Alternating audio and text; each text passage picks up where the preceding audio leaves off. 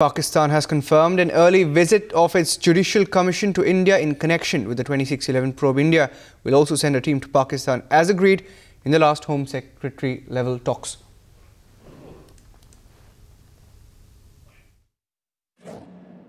Well, uh, you see, uh, Home Minister P. Chidambaram met his Pakistani counterpart Rehman Malik on the sidelines of the fourth SAARC Home Ministers meeting here uh, last night. The meeting took place at the initiative of the Pakistanis following a request from the Pakistan side. The meeting took place at a hotel in Thimphu around 10 and lasted for about half an hour. At the end of the meeting, uh, Rehman Malik uh, said the meeting was held at a cordial uh, atmosphere, but uh, Chidambaram had refused to comment at that point in time. But this morning, the two sides came out with a joint statement, uh, which is pretty routine in nature, which uh, basically said that the home ministers of the two countries met in a cordial atmosphere and that the, the Rehman Malik apprised the ministry was making an plans for an early visit of the Pakistan Judicial Commission to India in connection with the 2611 probe that is going on in Pakistan. Uh, and Rehman Malik uh, said in the joint statement uh,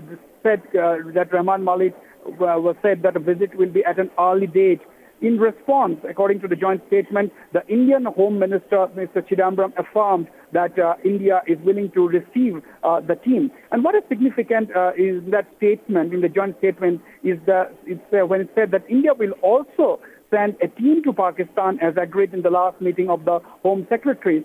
Uh, this is what basically is the joint statement said. And as Rehman Malik had told Times Now last night after coming out of that meeting, uh, there was no discussion on uh, the arrest of Ghulam Nabi Fai with American FBI in uh, the United States.